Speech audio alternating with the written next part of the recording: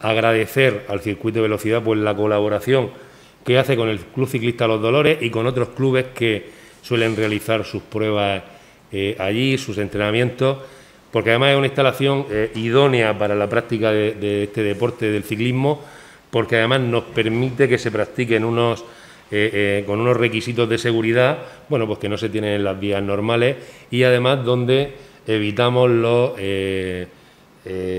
cortes de tráfico que se suelen producir cuando este tipo de pruebas se hacen en la vía pública, ¿no? Y es necesario cortar el tráfico para darle seguridad a la prueba.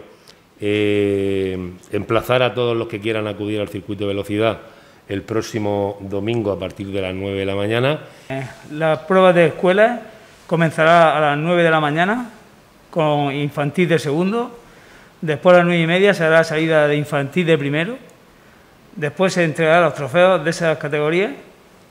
A las 10 menos 10 empieza la carrera de Alevín de segundo. A las 10 y 10 salida de carrera de Alevín de primero y se entregarán a continuación también los trofeos de esas categorías. Después a las 10 y 20 será la salida del principiante de segundo. A las 10 y 35 los principiantes de primero. A las 10.45 salida de carrera de promesas de segundo. Y 10.50 carrera de promesas de primero. Y a continuación se entregarán los trofeos de esa categoría.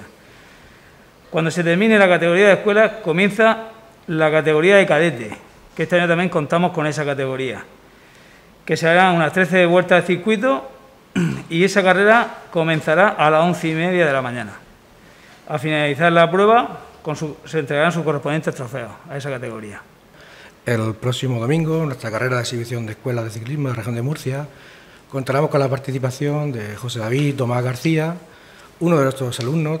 Bueno, contamos con José David desde que tenía cinco años en nuestra escuela que consiguió el Campeonato de España escolar en ruta el pasado día 16 en la Comunidad de Madrid, con una excelente participación. Pues bueno, entre los mejores corredores de España, de su edad, de su categoría, consiguió la victoria. Bueno, al final un hecho destacable, que es un fiel reflejo del, del esfuerzo, la dedicación y el trabajo que llevamos haciendo desde todos estos años, ya son 13 años con los que contamos desde la fundación del club